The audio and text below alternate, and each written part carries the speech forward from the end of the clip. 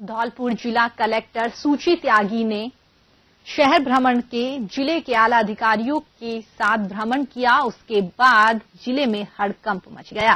समाज कल्याण विभाग के छात्रावास का औचक निरीक्षण करने पहुँची जिला कलेक्टर सूची त्यागी से पीने के पानी की टंकी के ढक्कन को स्वयं हटाकर देखा तो पानी में फफूंद और गंदगी देखकर समाज कल्याण अधिकारी को जमकर फटकार लगाई और जल्दी सफ़ाई करने के निर्देश दिए हैं। जिला कलेक्टर ने छात्रावास में रसोई शौचालय को देखा और छात्र छात्राओं के रहन सहन के बारे में पूछकर पढ़ाई के बारे में भी जानकारी ली है।